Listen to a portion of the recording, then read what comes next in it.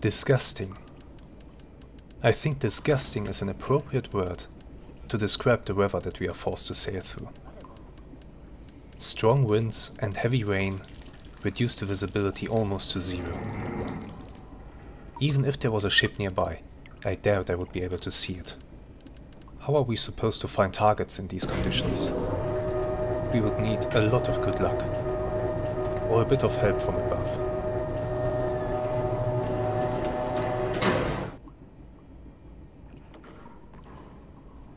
Rolf, you have the bridge. I'm going to finish some paperwork.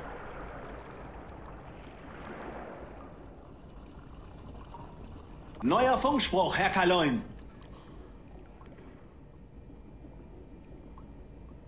Bootsman Huxel, I take it that you are sure that you have made no mistake while decoding this radio message, because this is an interesting one. Apparently there's an enemy ship in our patrol area. Pass the message to the navigator.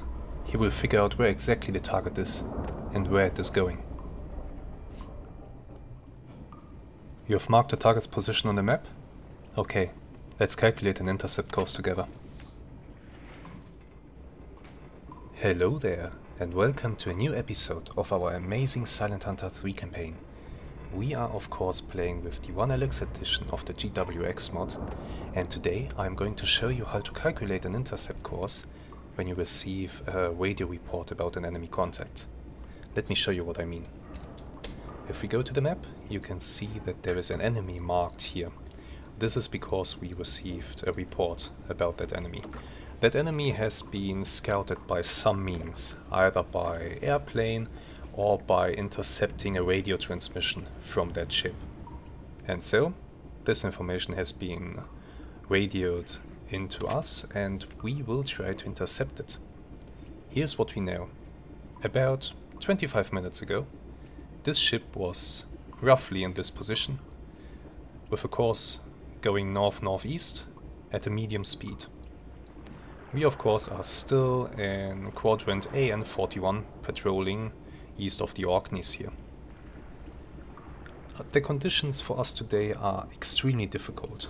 Let me show you really quick. If we go to the observation periscope and take a quick look outside, it's it's downright terrible, to be honest. Visibility is extremely limited due to the rain and, uh, well, general storm that is raging outside. So we will most likely not be able to identify the target from far away visually. We will have to rely on our hydrophones and on our map drawing skills to accomplish this. Calculating intercept course is very easy. Let me show you how it's done. First of all, we need to pay attention to the time. The target was in this position at 140. That is now half an hour ago. I want to know where this ship is right now. So let me bring down uh, this chart here. This chart will tell us how far the target has traveled in half an hour. Since they reported a medium speed, I estimate, once again this is just estimation, I estimate that the target is traveling at a speed of 7 to 9 knots. So I'll simply go with 8 to have a general idea. If the target is traveling at 8 knots, then in half an hour it has traveled almost 7.5 kilometers. So this is the first thing that I want to do. I want to mark the target's new location. And we did say, uh, we need to zoom in for this. We did say that they are traveling north-northeast. So if they were traveling simply northeast, you would of course choose 45 degrees. But since they're traveling north-northeast, that means I will go with uh, 22 and a half for good measure. And we did say almost seven and a half kilometers. So something like this is perfectly acceptable. So this is where we suspect our target is right now. Of course, due to the great work of our navigator, we know exactly where we are. So we have that. Now, now we come to the fun part. Let me take care of uh, this line here. We don't need it right now and it would only confuse us. We take the protractor tool and we draw a line from our submarine to the position of the contact. There. And for the second leg of the protractor we draw out into the direction of travel of the contact. So once again, I will simply choose 22 degrees, like. Now let me let me do it like this. Let's make the line a bit longer, and we'll choose 22. There we go. Now you need to measure off along the line of travel of the contact. You need to measure off a distance that is representative of the target's speed. So since we assume that the target is traveling at a speed of 8 knots, that distance that we measure off could be 8 kilometers, it could be 80 kilometers. It has to be something that um, that is in relation to that speed. 80 kilometers would be a bit too far because the distances are not that great here. We are only about 30 kilometers away from the target at this point. So I'm going to go with 8 kilometers. So we measure 8 kilometers into the direction of travel, like so. Now you need to determine the following. You need to know how fast you will travel to intercept the target. I will of course surface the boat. And on the surface I think I will be able to travel at the speed of about 11 knots due to the stormy conditions. So I will now take the compass tool, which lets me draw a circle. I'll go to the end of the line that we have just drawn. Oh, come on. And now I will draw a circle with a radius that corresponds to the speed that I want to travel at to intercept the target. So I did say I will travel at 11 knots. That means that I need to draw this air to 11 kilometers or to um, 110 kilometers if I had chosen to go with 80 kilometers for the uh, for the line here. But I went with 8, so now I need to use 11. Always keep these things in relation to each other. Uh, there we... Oh, come on. There we go, good enough. Good. Take notice of where the circle intersects the line between our submarine and the contact, which is right here. Let's put a mark there. There we go. And now you will do the following. And this is now the the part where where let's say the magic happens, so to speak. Because it is astonishingly easy once you get the hang of this. Good. So, we now go to... Uh, we select the protractor tool again. We go to the center of the circle that we have just drawn. This is where we start with this process. Center of the circle. Good. And now we draw this leg out to the point that we have just marked where the circle intersects the line between our submarine and the um, contact. And for the second leg, we go towards the contact. There we go.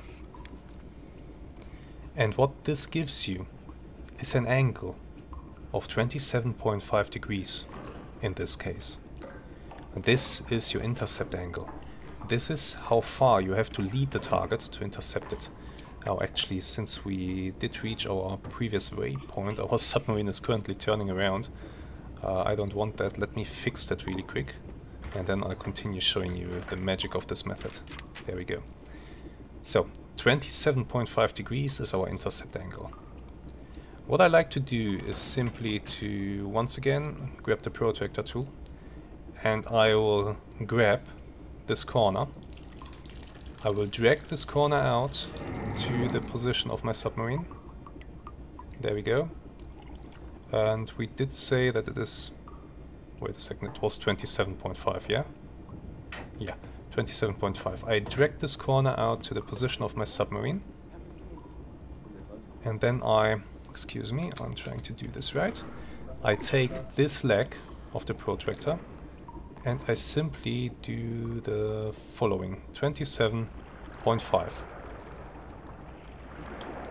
this here if I were to surface right now and if I were to travel in this direction at a speed of 11 knots then this is where I would intercept the target but you have to keep one thing in mind you don't want to be on a direct collision course with the target, so to say. You always want to lead the target a little bit. So that's what we are going to do. I will give myself a few more degrees. 31 degrees, sounds about right.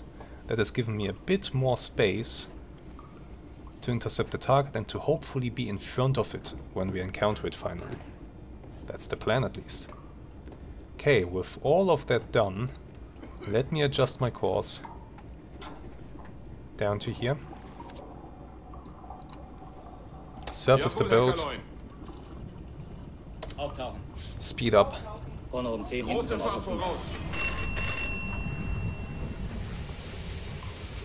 Good. Now we have to see if we can really achieve the speed of 11 knots on the surface. And this is this is how you calculate an intercept course. It is surprisingly easy. It really is. Once again, let's go through the steps. Um, if the time is uh, has progressed already from this point in time that is reported here, make sure to mark the current location of the contact, or well, your assumed current location of the contact. Then you think about how fast the contact is going. In this case I assumed it is 8 knots. You draw out a line with the protractor from your submarine to the contact and then for the second leg into its direction of travel. And on that line you mark a distance that corresponds to the target's speed. 8 knots, 80 knots, uh, sorry, 8 kilometers, 80 kilometers or 800 kilometers. If you're out in the Atlantic, then going with 80 or even 800 is uh, something that you should consider, because the distances then do get really big. So you have marked the distance on this line. Now you take the compass tool and you draw a circle that corresponds to the speed that you will travel at to intercept the target. And I Jawohl, Herr Kaleun. stop battery recharge and speed up the boat further. Volle Fahrt voraus. Let's see if we can even reach 11 knots. Maybe I will have to reduce this. So far it's looking good. Yeah, 11 knots should be fine, even in this weather. And the weather is terrible. Jesus Christ. Oh god. Oh no. Ah, oh, lovely. Give me a weather report. 15 meters per second winds, heavy clouds, light rain, zero visibility.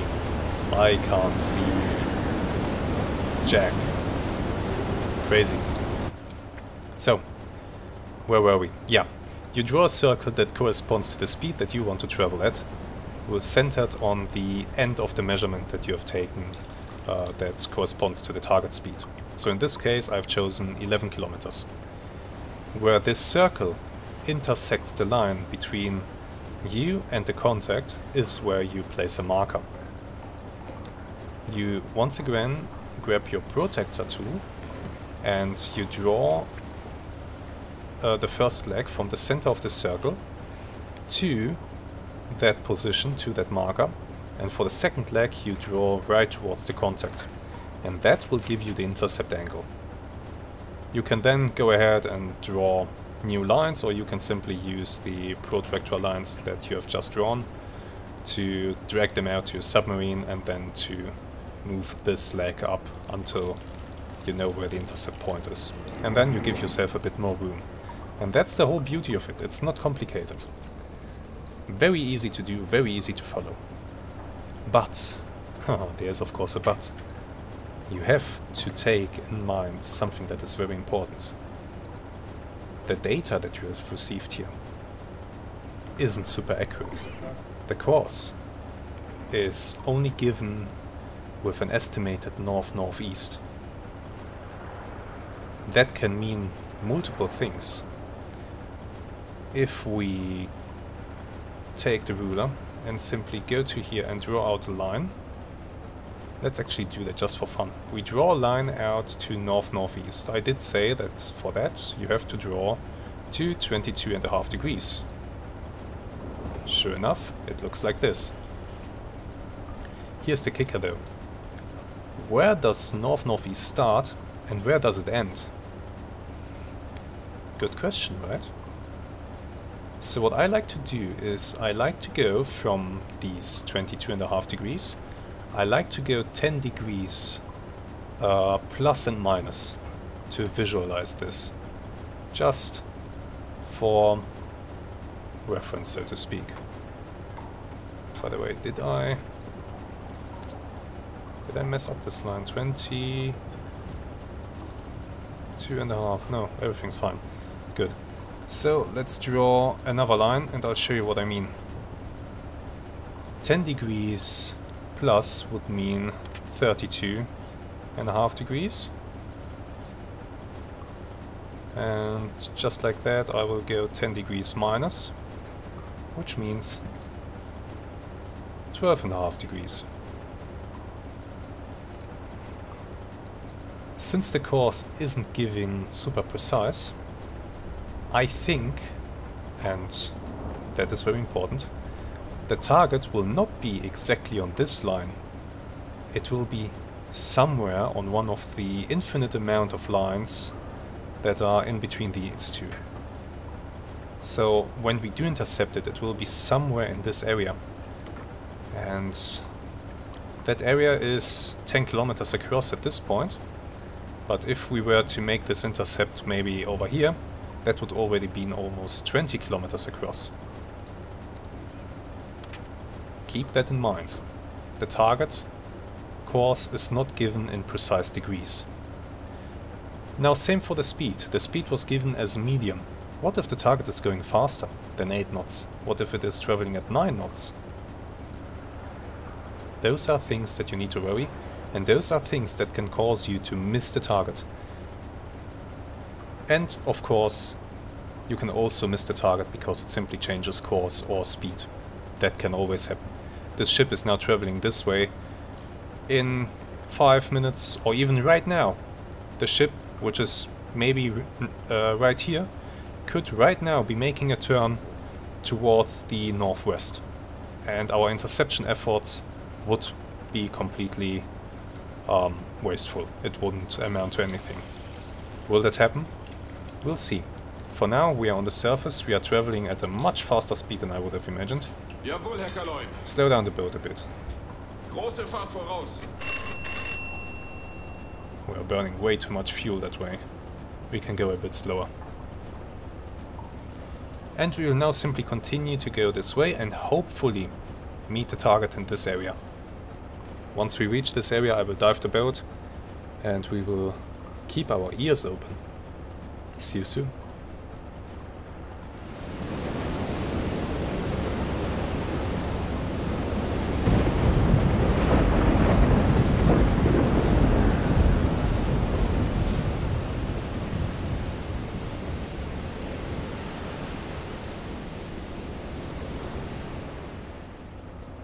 Welcome back. Alright, we are now in the area. So this is the moment of truth. Did we do everything right? Did the target continue on this course? Or maybe did it change the course and it's going somewhere else? This is the moment where we find out. We are in the area, we are now diving. Jawohl, Herr Kaleun. Dive the boat. Tiefenruder auf normal tauchen. Bring us down, come on.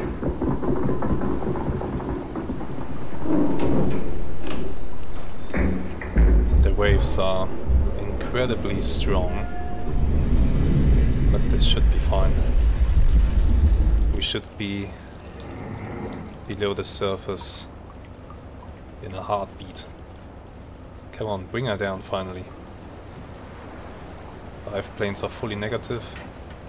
Man, I wish you could manually control the dive planes in Silent Hunter 3, Derzeitige Tiefe 1-0. like you can in Silent Hunter 5 with the Wolves of Steel mod. It would be so beneficial. Jawohl, Herr Kaleun. Bring us down to 25 meters. Also, I need somebody on the hydrophone. Derzeitige Tiefe 2-0. Good, we are getting there. Slow down the boat. Kleine Fahrt voraus. This will allow our hydrophone operator to listen Without- being obstructed by the sound of the engines too much. By the way, I should change out the engine crew just to make sure that we have a fresh crew on standby if we should need it. Let's go to the hydrophone station. Do you have something for me?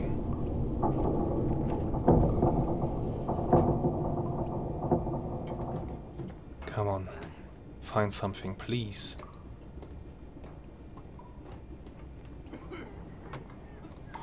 While we are waiting for him to find, hopefully find something, let's do something else really quick. We know the target was here at 140. Yes, that is one and a half hours ago.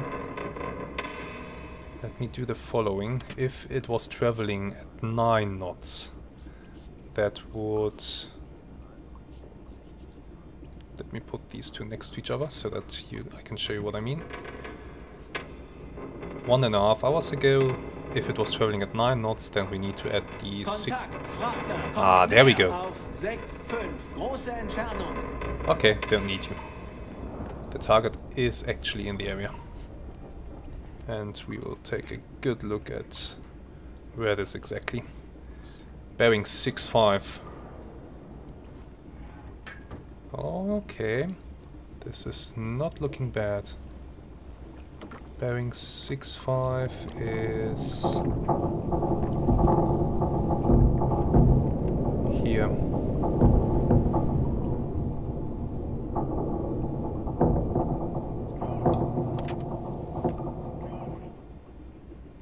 So this way. So the target is somewhere on this line that we have just drawn.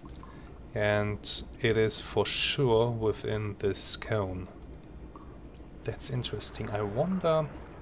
No, I don't know how fast the target is going. Otherwise, if I knew how fast it was going, I could now tell exactly where it is. Because I would simply see how far it has traveled in one and a half hours. And then I could mark the position. But this is this is amazing. We have made contact. We know that the target is somewhere in the area. Let me go to the hydrophone and let me have a listen. Get an idea of how close it is. Oh wow. Stop the engines. Jawohl, Herr Kaleun. Steuerbordmaschine stopp. Backbord stopp.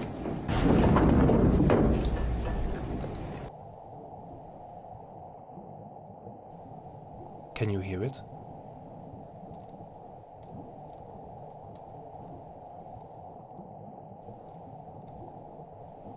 It is very faint. It's chugging along, but at a slow speed.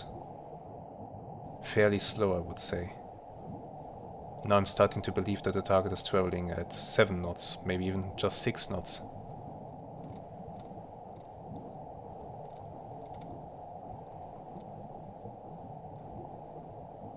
That's interesting.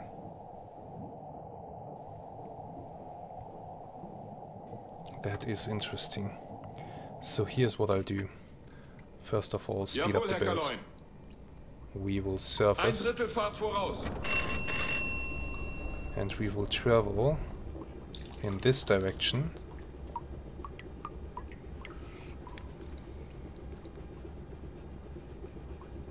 Six kilometers. Yeah, that should be fine. Let's travel six kilometers and then I will submerge the boat again. And we'll have another listen. Then we should be closer to the target. Surface. Kaleun. Auftauchen. Vorne um 10, hinten kommen auf 5. And Jawohl, Herr increase speed. Große Fahrt voraus. I really wish I could manually control the dive planes. Because here's the thing.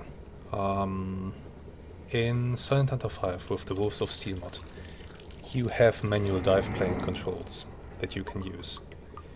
And those will actually help you to avoid dying. It is not uh, that significant in Silent Hunter 3 maybe as it is in Silent Hunter 5, but when the dive planes are not at zero degrees, they are acting like giant speed brakes, so to speak. They are slowing you down. So it can be really beneficial to leave them at zero degrees when you are underwater, even when you are just traveling at a slow speed, and let the boat slowly sink instead of your crew trying to lift the boat up because you are starting to sink slowly because you are going very slow. And then the dive planes slow you down even more. That's something that I wish would be possible to manually control these things because of that. But alright. That's something that maybe, maybe, maybe one day will be added, if we are lucky. Ah, I see, the weather is still terrible. Is it? Jawohl, Herr Kaleun. Yes, absolutely dreadful. How nice. Jawohl, Herr Kaleun. Standard propulsion, don't recharge batteries.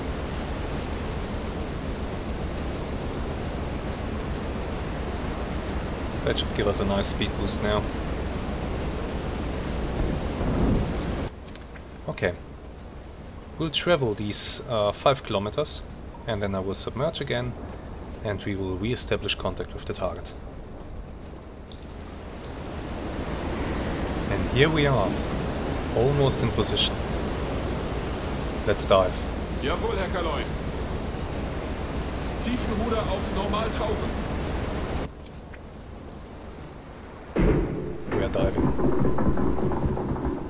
Let's bring her down.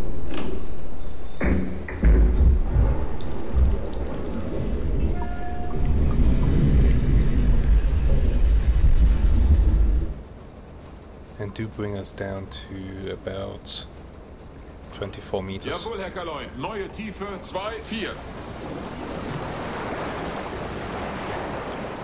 Awesome.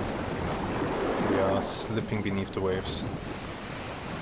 Derzeitige Tiefe 1, 0. Good. Electric engines have been started. Nice. And we are descending rapidly. This is a really nice thing about the Type 7 submarine. Um, its diving speed is pretty decent. It's really good actually. Derzeitige Tiefe 2,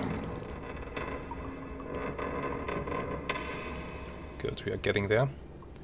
Our hydrophone operator should soon rediscover the contact. Let's go over to him.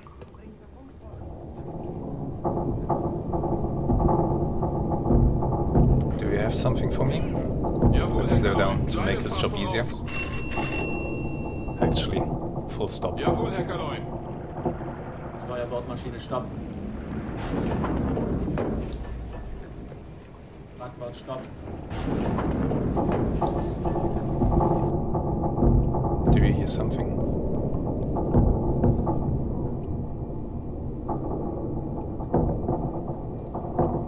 Let's ask him. No sound contact yet. The boat is still setting at the step, so it's okay for him to take some time. I hope that the target didn't uh, didn't pass us in the fog. That would be a bit embarrassing. Come on, you should find something now.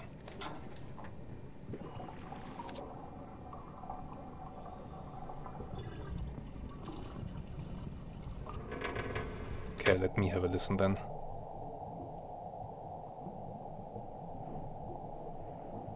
Dead ahead.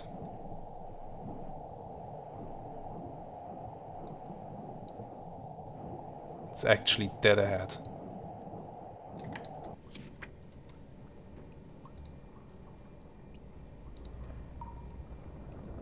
Dead ahead of our submarine. At zero.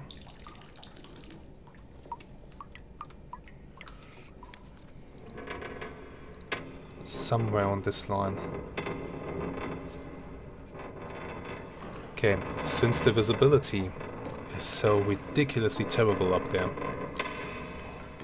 I think I won't... I won't surface.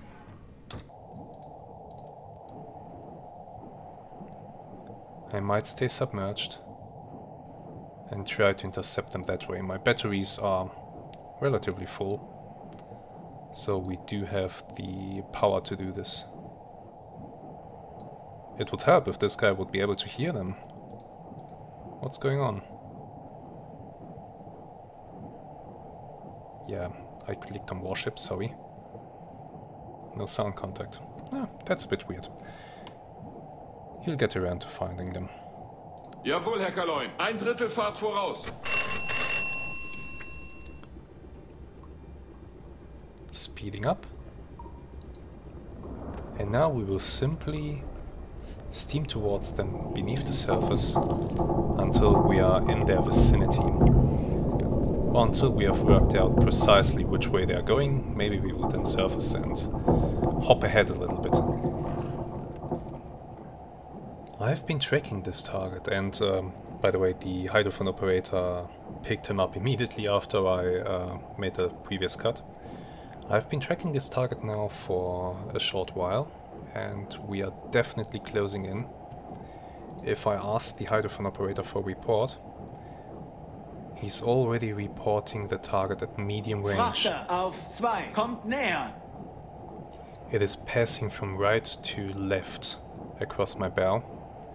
So I think I'll give it a bit Herr more Kaleun. lead. Neuer Kurs 180. And we'll bring the Jawohl, boat to Herr periscope depth Auf Sehrohrtiefe gehen. in preparation to surface and hunt them down. I still don't know what I'm facing. It could be...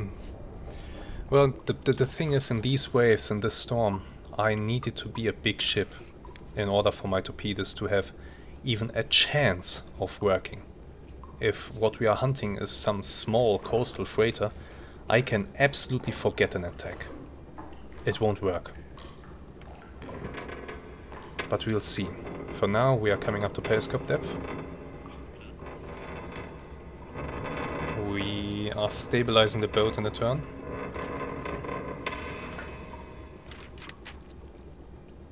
Which is nice, excellent. Hydrophone operator should have the target back again in a moment. Let's see. Contact report. 9 degrees, medium range. Frachter kommt näher. Auf 8. Observation periscope. So this way. Let's see if I can already spot something.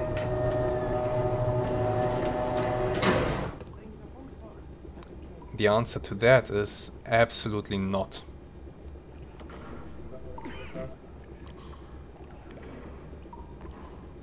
Absolutely not. There's nothing out there that I can see.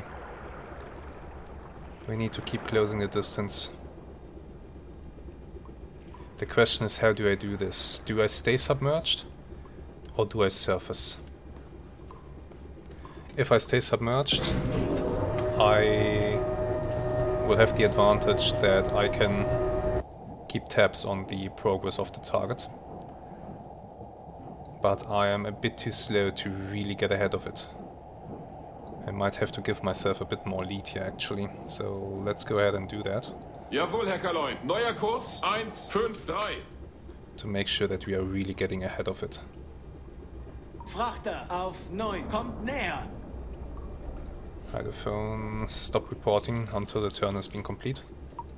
Uh, completed, otherwise this is gonna get really annoying. Okay, so here's the plan. The target is somewhere out here. Actually, somewhere out here probably. I will keep closing the distance on this intercept course. And I will keep doing so until I can actually spot it through the periscope. Then I will know if the target is armed or not, if it is safe for me to surface and conduct a surfaced attack. Because I have zero firing parameters. I cannot employ my method that I used in the previous videos, where I plot the target's progress on the map. That is not feasible. I will have to use a different method to obtain firing data. Which one will that be? I don't know yet. We'll see. We will adapt to the situation. There it is. Visual. The ship is coming out of the fog. Frachter auf 3-6. Kommt näher. And I let it too much apparently, but there it is. Now I still can't tell what kind of ship we are looking at, 3-7. Kommt näher. but we will very carefully observe it. However, I do have a suspicion that it is a very small ship, auf 3-9. Kommt näher. and therefore completely unsuitable for an attack. Uh, let me switch stations here. Down observation periscope. 4-0. Kommt näher. We lower this one. So we are lowering this one, and we will be going up in the conning tower, where we will sit on the attack periscope. That's a bit more stealthy. Frachter auf 4-2. Target on 42 degrees, there it is. Frachter auf 4-3. Kommt god damn näher. it. That's a small fishing boat. That's just a fishing trawler. Frachter auf 4-4. Kommt näher. I believe that this is just a fishing trawler.